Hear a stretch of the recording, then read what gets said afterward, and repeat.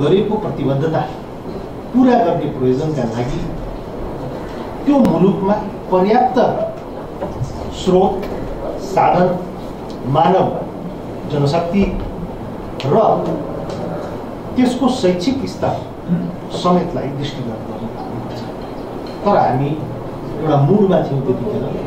र नेपालका नागरिकहरूको मानवाधिकार संरक्षण गर्नुपर्छ भन्ने अत्यन्त संवेदनशील र सम्मानजनक हिसाबमा हामीले त्यो प्रतिबद्धता अन्तर्राष्ट्रिय स्तरमा गऱ्यौँ। गऱ्यौँ प्रतिबद्धता पनि जाहेर गऱ्यौँ। तर त्यो अनुरूप जिम्मेवारी निर्वाह गर्नलाई जे जति स्रोत चाहिन्थ्यो त्यो चिज